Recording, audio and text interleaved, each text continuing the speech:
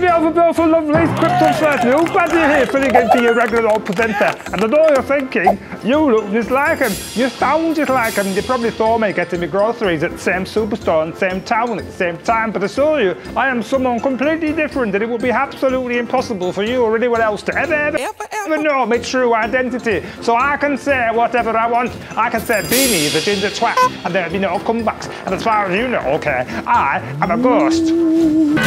Except I'm not, am I? This flimsy disguise is an apt visual metaphor for just how fragile pseudonymity in crypto really is. From bored apes being docked against their will, to 0xSifu's problematic past, to the scarcely believable story of the Bitfinex failed money launderers, and the grand baked bean himself, there's been a stream of stories this last few weeks challenging the notions of anonymity, pseudonymity, and whether any of us have any right to privacy in a digital society. The blockchain might promise decentralization, but it also provides an indelible trail of breadcrumbs. And if you know how to find them, it's not even that hard to follow them. So should we be scared or should we be defiant?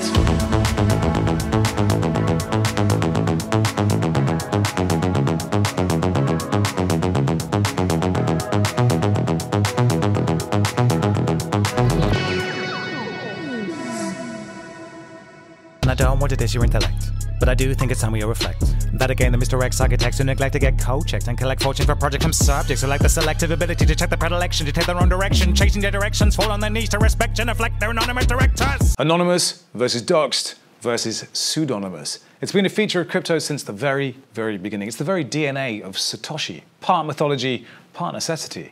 If we knew who Satoshi was, would Bitcoin be what it is?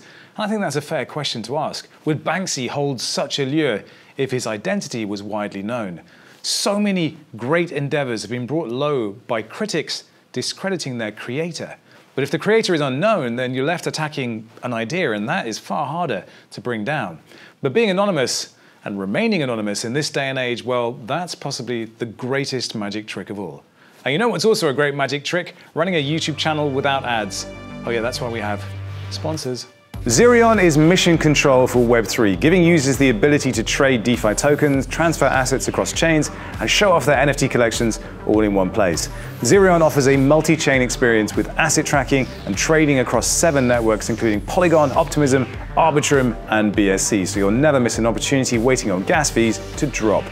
NFT owners can also see their favorite collectibles and art as widgets on their iPhones or Apple Watches and send them to friends and family in a few clicks. Users can explore every corner of the metaverse with Zerion from their web, desktop, and mobile apps. So head to zerion.io to connect your wallet and get started today. When you shop for plane tickets, you probably use Kayak, Expedia, or Google to compare ticket prices. So why would you limit yourself to just one exchange when you trade crypto? When you make your trades, you want to make sure you're getting the best possible price, and that's why you should be using Matcha. Matcha routes your orders across all the various DeFi exchanges on Ethereum, Polygon, BSC, Fantom, and Avalanche, and gives you the best possible prices without taking any commissions. Matcha has smart order routing that splits your order across multiple liquidity sources. It also allows you to make limit orders on chain so you can set and forget your DeFi trades. New to Matcha is an integrated fiat on-ramp so you can purchase crypto directly with your credit or debit card and have that fiat be instantly traded for any token that has liquidity. Head over to matcha.xyz forward slash defiant and connect your wallet to start trading. Step Finance is the front page of Solana. Crypto moves fast with hundreds of applications and new things launching daily. Keeping track of it all is a full-time job. Step brings everything into one easy-to-use dashboard. Step's portfolio management dashboard enables Solana users to visualize, analyze, execute, and aggregate transactions across all Solana contracts at the click of a button. Step is built by DeFi degenerates for DeFi degenerates. Get started today by visiting step.finance and connect your wallet today. So let's start off with some definitions. First, anonymous, not identified by name or of unknown name. Now, the key thing here is the only name that can be given here is in fact anonymous, meaning the subject in question is indistinguishable from any other subject, also given the name anonymous. There is no other value attached to that name. And that's the crucial difference with our next definition, pseudonymous, a fictitious name, especially one used by an author.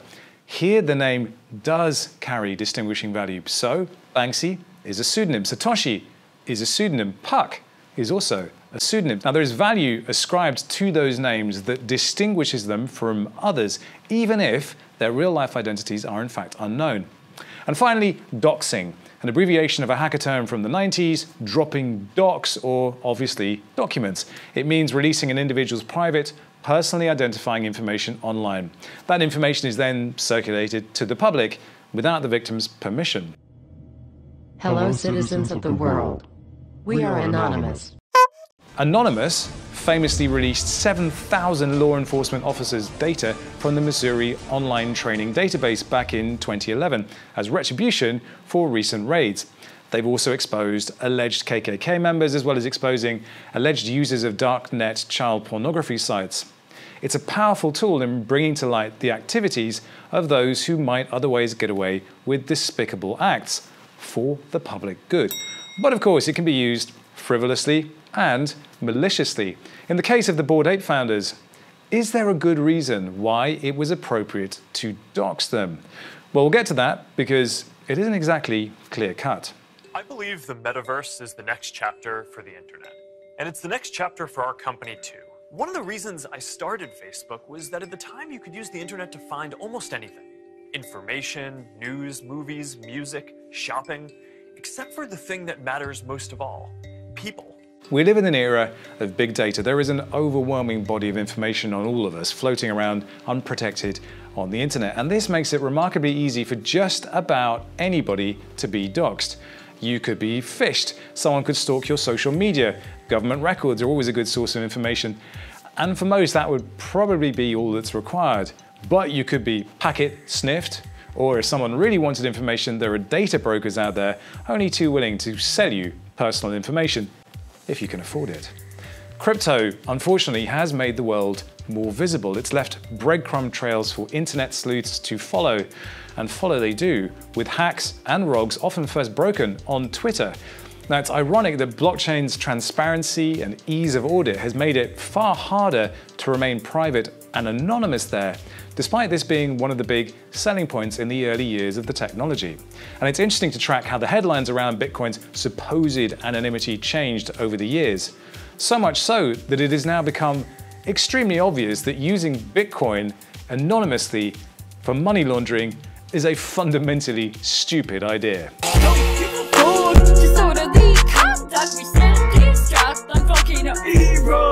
So yes, this spectacle who goes by the name of Heather Morgan, aka Razzlekhan, aka the Versace Bedouin, aka the Turkish Martha Stewart, aka wait, I mean, what the is this?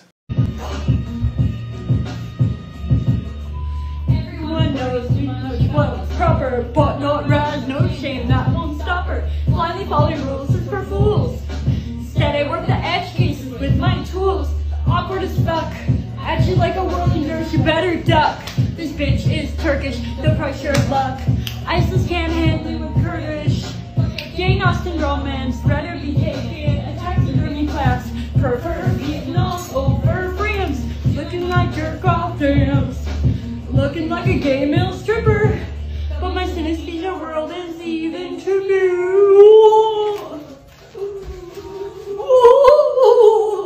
She and her husband, Ilya Lichtenstein, and really, you couldn't make that up, could you, were arrested this week for allegedly conspiring to launder around $3.6 billion worth of crypto. The Department of Justice was quick to point out that they were able to track down the offenders using 21st century investigative techniques. Oh, yes. Apparently, the couple employed numerous sophisticated laundering techniques, including using fictitious identities to set up online accounts. Very sophisticated. So you can track the whole sorry business through this statement of facts. It kind of beggars belief how they ever thought maintaining that kind of gonzo online presence while actively laundering stolen funds would ever end up in anything but arrest. So here we are, your Bitcoin address isn't anonymous, it's pseudonymous, which is fine. In this case, the DOJ was able to successfully collect enough evidence to arrest alleged wrongdoers. But the vast majority of pseudonymous actors aren't criminals. That's you and me and everybody else. There is always more to build. There's always a next chapter to the story. If you hang around crypto for long enough, dealing with pseudonymous actors becomes normal pretty fast. It's just the way it is, right? that pseudonymity is interesting because it accomplishes a few different things. Obviously, it protects the user, allowing them to share only what they feel like sharing, and many are fearful of there being too much transparency over their holdings in crypto. But there's also a whole world of LARPing going on. A pseudonym is a mask, but it's also a costume. You can be whoever you want, and this is in no way a Web3 thing. It's been going on for decades. We are really all being catfished all the time. But for me, I find pseudonymous actors require less effort on my part to get to know them. There's no need for me to know anything more than what's there in front of me. And to be honest, I suspect I'd be disappointed or put off by them in real life. Pseudonymously, none of that really matters. All that matters is the interaction. And crucially, in pseudonymity, we can all pretend we're much more alike than we really are. There's a comfort in that, a comradeship. For developers, though, there's a major challenge here. Decentralized protocols are meant to be owned by nobody. But most of us interacting with them will look for some kind of leader or major governing entity or a lead dev. And it's fine when tokens are up only. But if they go the other way, then the pitchforks come out and those devs are the first in line to be kebabbed. Now, it's interesting thinking back to the ICO boom times when influencers like Ian Balina would wax lyrical about the quality of a team.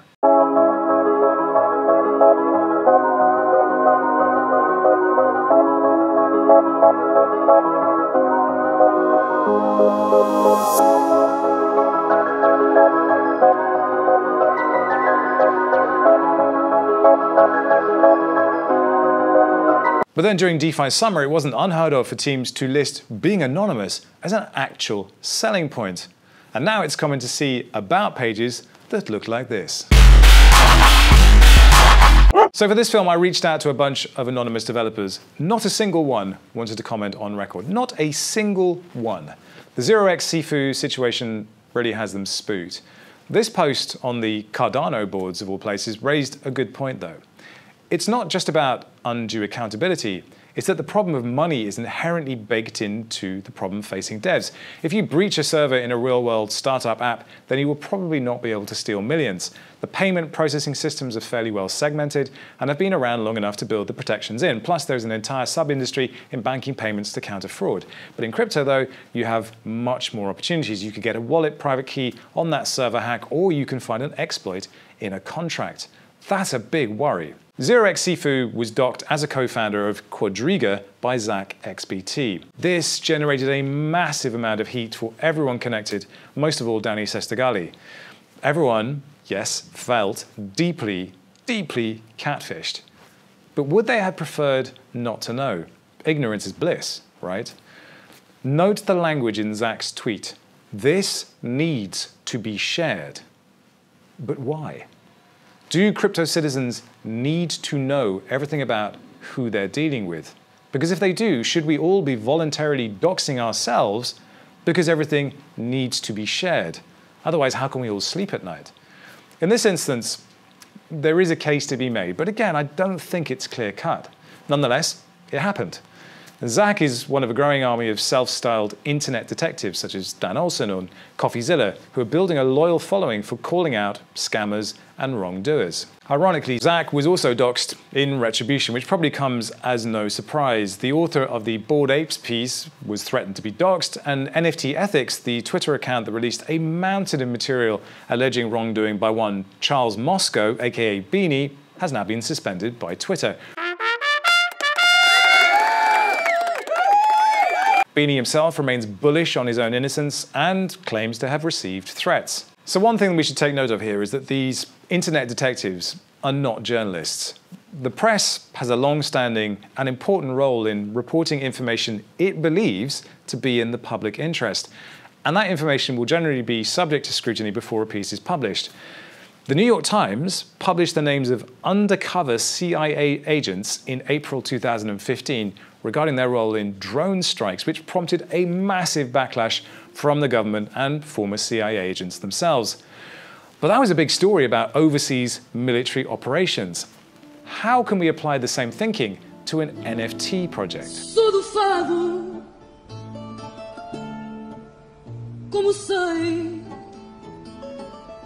Vivo um poema cantado de um fado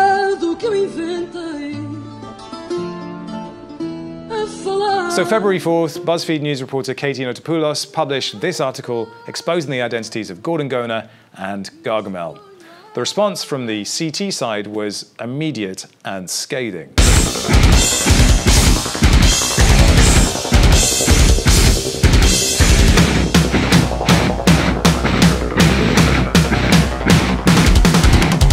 So BuzzFeed News had tracked down Greg Solano and Wiley Aronow using nothing more than publicly available records. And as stated in the article, Yuga Labs CEO Nicole Muniz confirmed the identities when pressed.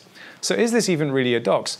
Normally you think of dox as private information made public, but this was public information, so I'm not sure it even really counts. So I asked Katie for a comment, but she declined, stating she had nothing to add to what was written already in the article, but some others did add their voices.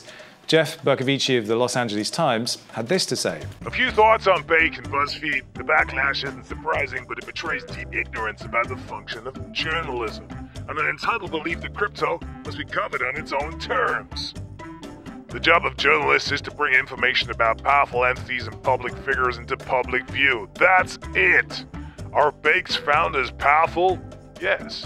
Wealth is power. That's why Forbes and Bloomberg publish lists of ultra wealthy individuals and families. The people on those lists would often rather keep their wealth a secret. Where's the outcry when they are named? While Robert Reid, in a lengthy thread, landed on an interesting point, citing Wiley Aronow's apparent wealthy family. Do you know what? I think this story makes the crypto community mad. It undoes a FIFA vendetta. It could be anyone fighting the power mythos. If you learn by comes to money and connections too, it ruins the fantasy that they can be nobodies just like you. So if you remember that thought that pseudonymity removes the differences between us, that we can be much more alike than we really are. If we know who the other person is, then that goes away. we, we are defined by our differences. So what about us then? What about the Defiant? Where do we stand on doxing? The Defiant's position on doxing is, unfortunately, I don't think it can be a clear-cut one. It really depends on each case. There is a case to be made for doxing when that person is doing or even has done something that is fraudulent or illegal and users are at a potential risk or in a case that as a news organization, we decide that there is a public good to be made by revealing a person's identity. The bar should be pretty high because we're very sympathetic to the right to remain anonymous or pseudonymous. From their kind of muted reactions, it seems clear that the BAYC founders expected this to happen sooner rather than later. And it's interesting that while others around them were publicly outraged, they themselves were not. And maybe it's because there's this rumor about A16Z and a $5 billion valuation. Could well be. Now, there is a bigger question here surrounding the matter of what constitutes the public interest and what even is the public. Probably the best stance to take is that if you are pseudonymous, and amass any kind of power or reputation through the course of that, then someone somewhere is going to be working to find out who you are. It's far more likely that they'll succeed than not, so plan accordingly. And on that disturbingly dystopian note, it's time to say goodbye. This, yeah, was The Defiant.